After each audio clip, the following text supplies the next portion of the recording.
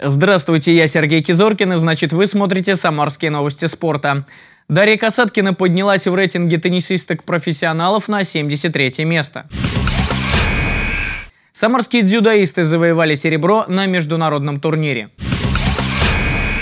Хоккеисты ЦСКА ВВС дважды уступили Ростову.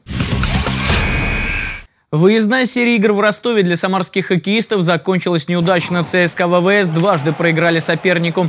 Сначала со счетом 1-4, потом 1-2, но уже по булитам. В итоге военные летчики плавно спланировали на одну строчку в турнирной таблице высшей хоккейной лиги. Вниз и теперь занимают четвертое место. Лидеры Мордовия и Ростов. Юные самарские дзюдоисты заняли второе место на 20-м международном турнире «Звездочки дзюдо в России». Кирове за награды боролись спортсмены от 11 до 14 лет. Конкуренция была очень высокой, в каждой весовой категории было по 50 человек. В итоге сборную Самарской области обошли только борцы из Перми. Бронзовые медали у кировчан. Дарья Касаткина поднялась в рейтинге теннисисток-профессионалов WTA на 73 место. В женской теннисной ассоциации Тольяттинка в пятницу, выиграв Кубок Кремля, сразу со 104 позиции поднялась на 73 -ю.